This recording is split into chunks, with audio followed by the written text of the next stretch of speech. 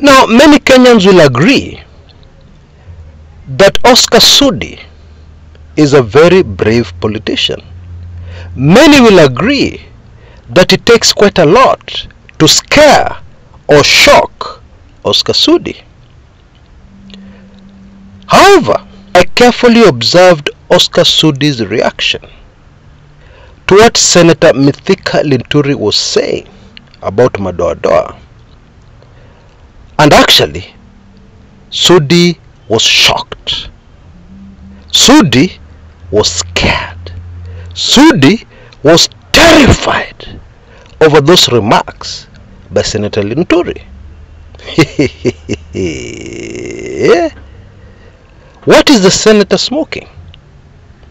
Or what had the senator drank before that rally?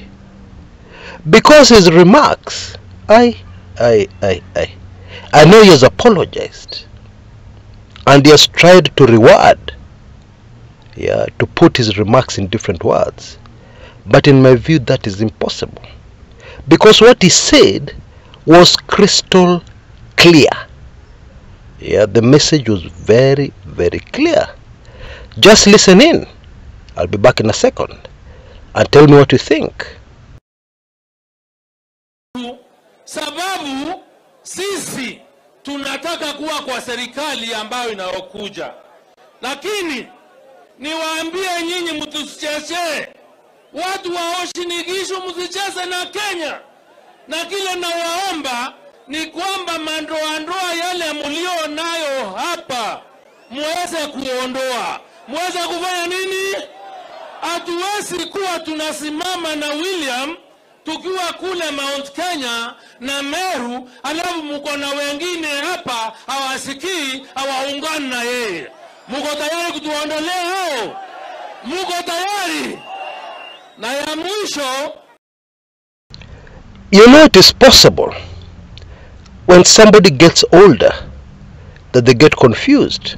It is possible when somebody gets older that they go into a meeting where people are talking in a certain way. And then, when they go to speak to the public, yeah, later, it is possible for that person to forget the forum where he's speaking and to repeat the words people may have spoken in private. It's possible when you get older. Yeah, that's a fact. So I'm wondering to myself whether this is what happened. Because Senator Linturi is usually yeah, a person who is reserved. Is usually a wise man. He usually picks his words carefully. So what happened in Eldoret? It's a real mystery to me. And indeed it is no surprise that uh, he was picked up and that he may be charged with hate speech. That shouldn't surprise anybody if you've just listened to the remarks he made. You see, of all places, Eldoret is the last place where you want to mention the word Madoadoa, which first came to the limelight during the very unfortunate 2007 elections. Yeah. And it means people within you who do not fit madoadoa, spots, stains. That's what it means. And we all know what unfolded in 2007. Therefore, why would a whole senator, an old man and older people are supposed to be wiser, use that word at a rally for the deputy president, bang in the middle of Eldoret town? It doesn't make sense to me. It doesn't. I know most people are focusing on throwing barbs at the senator, but according to me, even before I start criticizing him, I'm puzzled. I need to understand why he made those remarks.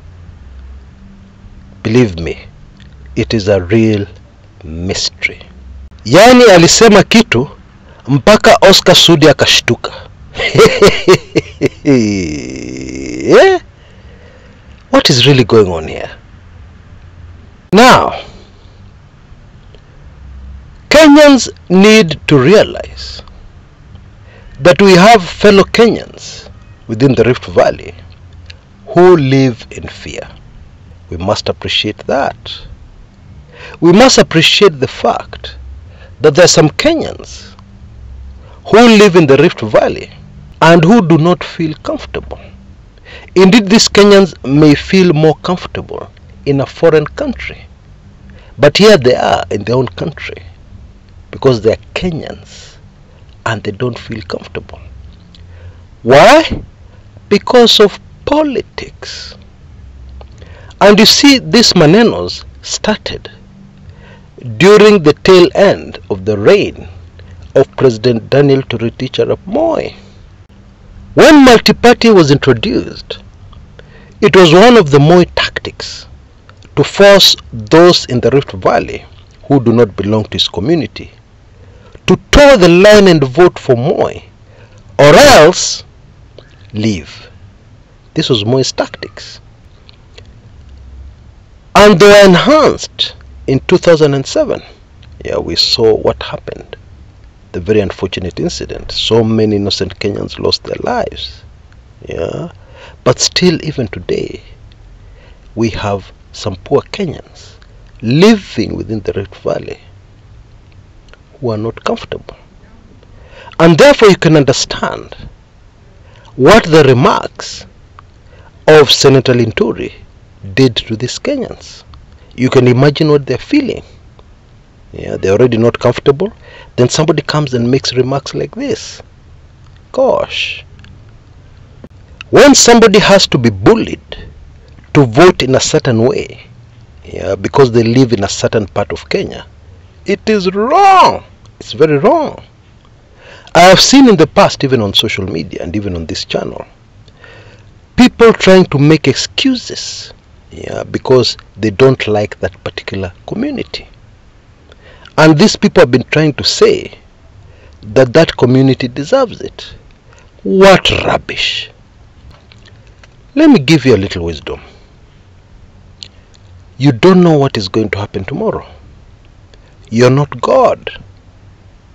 And therefore, when something happens to your brother or sister whom you do not like, and you want to support it, you want to make excuses for it, bear in mind that tomorrow it is possible that you will be in precisely the same situation.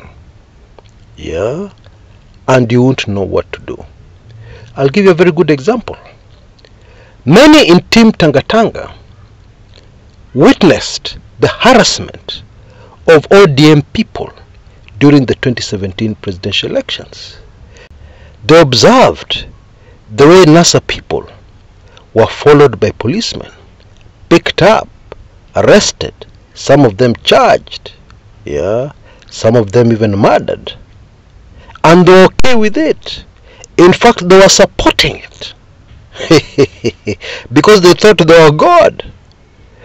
Now, fast forward to 2021, 2022, when a few Tangatanga people are arrested, yeah, or when a few Tangatanga people run into problems with the police, do they remember what happened in 2017? Do they? Do they remember what they were saying in 2017? And that includes the deputy president himself. yeah? Until next time, this is Chris Kumekucha.